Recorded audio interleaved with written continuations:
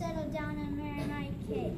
How's that, man? Fair enough. I don't know. A thousand is mighty small potatoes for marrying kid till death. Do you want your five thousand bar? I refuse to be a bit on like a